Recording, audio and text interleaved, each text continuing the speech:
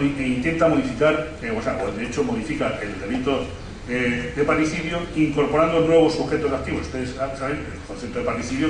como deben ser las relaciones parentales que existen, y aquí se incluye que puede ser también cuando es un excónyuge o un exconviviente el que comete el delito, mm, o cuando la víctima del homicidio haya sido anteriormente cónyuge del, anterior, aunque ya no lo sea, pero si han sido, si ha habido una relación afectiva y, duradera y seria, pues el, delito en ese caso también se extiende en algunos casos a los novios, o sea, pues, eh, cuando hay una relación de, pareja, pues se considera que en ese caso el parricidio sería feminicidio, o sea, sería un, un parricidio cualificado.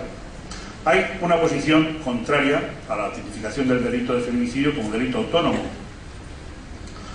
eh, hay una tendencia que dice que eh, este, este, delito puede, eh, feminicidio o feminicidio, puede ser integrado en los supuestos de homicidio calificado, que esté ya regulado por los códigos penales, aplicando las, sanciones establecidas para esos tipos penales afirma que ni el problema de la violencia contra las mujeres, lo voy a leer porque si no vamos a ir para poder terminar todo lo que tengo preparado. Dice, ni el problema de la violencia contra las mujeres, ni las dificultades en el acceso a la justicia se solucionan con la creación de nuevas figuras penales o con el incremento de las acciones. Bueno, parte, es una, teoría, ¿no? Según esta posición, la visibilización de los homicidios de mujeres por razón de género puede lograrse a través de medidas extrapenales, por ejemplo, creando registros estatales, o sea, sí, de lo que se trata es de dar mm, visión al problema creemos unos registros especiales donde se consideren esos casos como violencia de género y no necesitemos eh, modificar los tipos penales. Mm, bueno, está claro, por supuesto, que el, derecho penal no debe, ser solamente, no debe tener solamente una función eh, simbólica y, que debe prevalecer el principio de mínima intervención mm, y que en materia punitiva el derecho penal mm, es la última y no la primera de las razones. El Tribunal Constitucional Español, hay una sentencia muy importante, que es la sentencia 59 de 2008, de 14 de mayo de 2008, dice que el establecer estas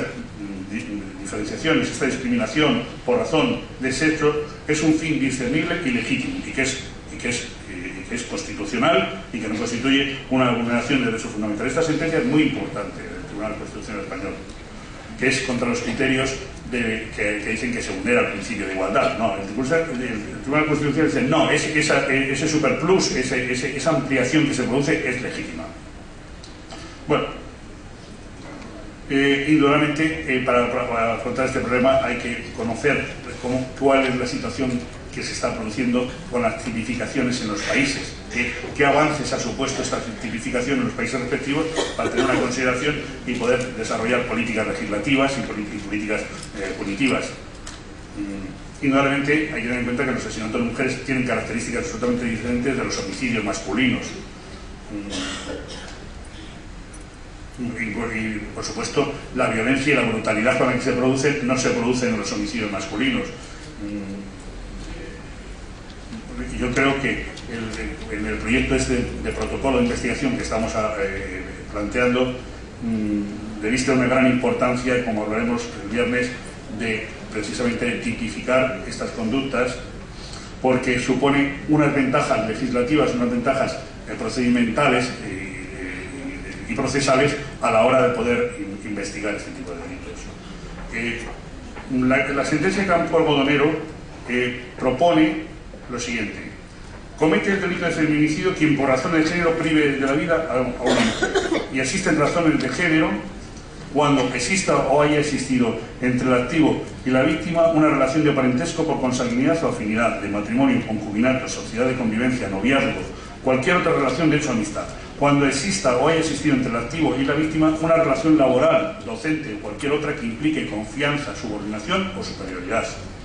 Cuando la víctima presente signos de violencia sexual de cualquier tipo,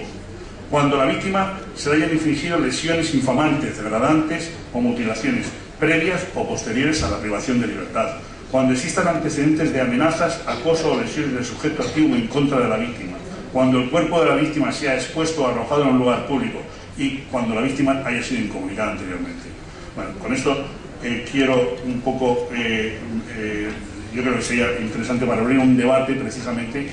con ustedes como juristas en las ventajas o inconvenientes de esta tipificación penal. Como ven, no es tan claro, hay posturas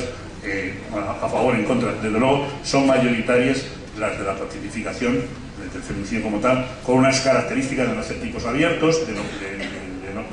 claro, eso produciría una inconstitucionalidad, además ustedes a la hora de juzgar con un, con un cajón desastre en el que eh, se introducen muchos elementos, pues sería francamente difícil, ¿no? Y, además no, entraríamos en un derecho garantista. Y hoy en día pues, pienso que todos los que estamos aquí estamos por un derecho garantista. Nada más, estoy abierto a su disposición para continuar el debate, las preguntas y en estos días me tienen a su disposición para lo que quieran.